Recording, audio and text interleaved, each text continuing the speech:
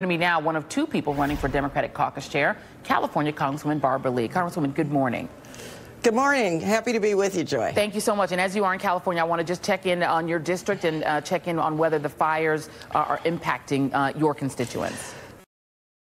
First, uh, Joy, the fire is about 150 miles away, and our thoughts and prayers are with the community and with the families and victims. This is uh, horrific, and uh, my district uh, is working every day to make sure that the resources are there for the victims and families.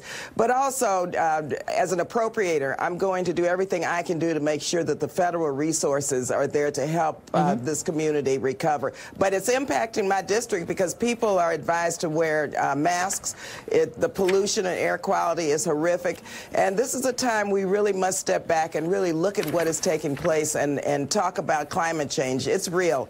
And uh, this is the new norm. And we've got to do something. And we've got to do it fast because otherwise uh, this planet can't survive what, what's taking place. Yeah, absolutely. Climate change is real, despite the fact that some people don't want to uh, believe it, including somebody in the White House. Um, let's shift gears and talk about this leadership race. A lot of people, when they think about um, the House leadership, they just think about Speaker or minority leader. But uh, of course, there are a lot of other jobs. There's seven total top jobs. So people understand you've got the lead, you've got the speaker, of course. You've got the minority leader, who currently is uh, a Congressman Steny Hoyer. You've got the minority whip, which is basically the vote counter, right? Which I, uh, I'm sorry, that's Steny Hoyer right now. Um, you've got Jim Clyburn, who's the leader. Um, you've got the caucus chair and vice chair. You've got the congressional campaign committee chairman. So you've got all these different people that are below the level of Speaker of the House.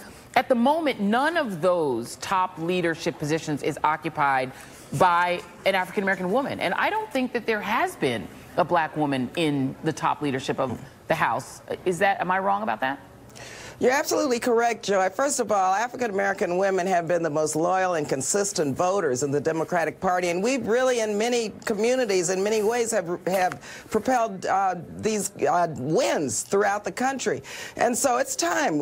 Let me just give you a bit of history. The first Congress was seated in 1789. Since then, and I was elected in 1998. Okay, I'm the 20th African American woman elected to Congress since uh, 1789 and when I was elected in 98. But having said that, there have been zero African American women elected to a leadership position. Congresswoman Shirley Chisholm, whose legacy and life we honored uh, 50 years ago, she was elected uh, on November 5th. She actually ran in the mid 70s. She ran against Tom Foley. She got probably about 100 votes, and they actually created an appointed position as secretary. But people are stunned when I tell them this. They cannot believe that African American women in the House Democratic caucus have been really locked out all of these years and have never had a seat at the table. The public wants change. They want new ideas. Black women help broaden the perspective for the country in terms of an agenda that's going to speak to the aspirations of the American people. And so, obviously, Congresswoman Marcia Fudge is making that very point, right, as she contemplates whether she will run um, for the Speaker's position. Um, eh, but that, but I think the point is obviously there there is not just one job that people can run for. Can I ask, first of all, what do you make of this um, fight over Speaker very quickly? Well, I'm on record uh, supporting say, saying that I'm going to uh, vote for Nancy Pelosi, but what I, want to say is that, uh, you know, people in the Democratic caucus have witnessed um, Speaker Pelosi to be uh, leadership. But Marcia Fudge, let me tell you, I have witnessed her leadership and her experience up front. She helped us take back the majority. She's strategic, she's smart, former mayor. And so there's so many uh, people who could mount this leadership role.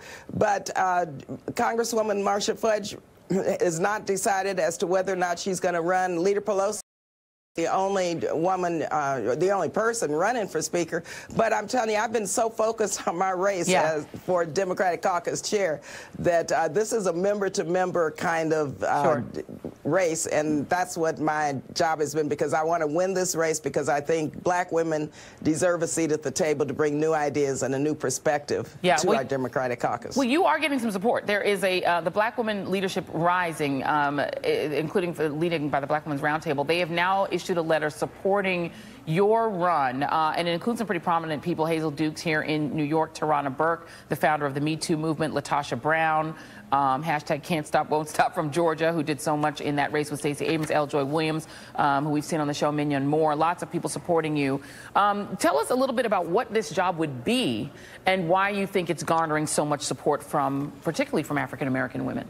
Sure, and I have uh, major support from the Congressional Black Caucus, including uh, our great hero and icon, uh, Congressman John Lewis. This is an important position because what this job does is really organize our Democratic caucus to make sure that our agenda is a consensus agenda where, where as we move forward, we can make sure that we reduce the cost of prescription drugs, that we ensure that there's affordable, accessible health care for everyone, and we protect the Affordable Care Act, that we really put forth an infrastructure plan so that we can create good paying jobs in communities that have not necessarily seen new bridges and new roads, broadband. Also, what we have to do is pass the Voting Rights Act. I mean, come on, we see what is taking place in our country in terms of voter suppression.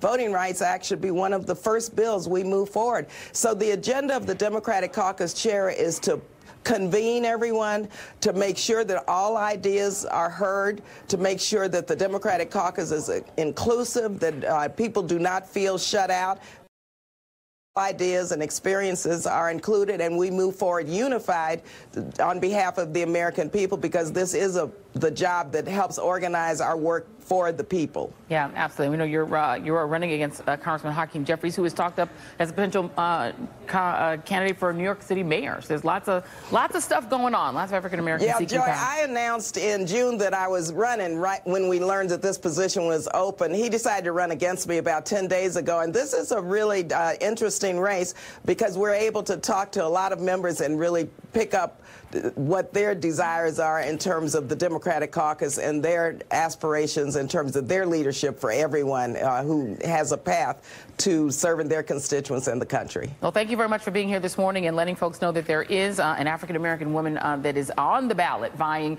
for leadership in the United States House of Representatives in the next Democratic run Congress. Congresswoman Barbara Lee, thank you.